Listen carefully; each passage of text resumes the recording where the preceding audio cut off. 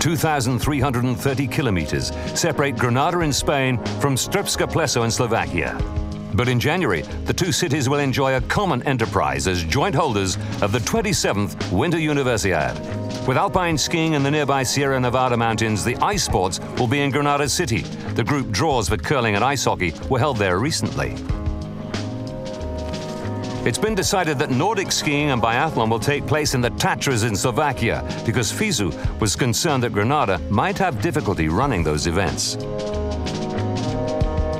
So Peter Hammer will head the organizing committee of the Tatras 2015 project for the Universiade that begins on January the 24th.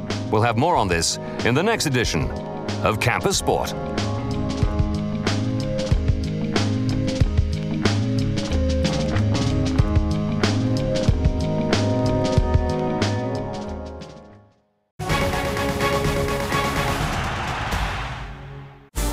Today's stars, tomorrow's leaders.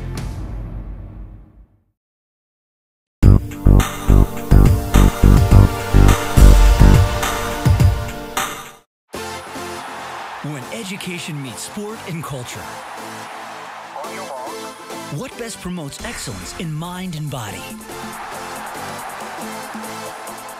Where do friendship, integrity, and achievement meet? Which event gathers the best student athletes from around the world? The Universiade, the home of international university sports. Today's stars, tomorrow's leaders.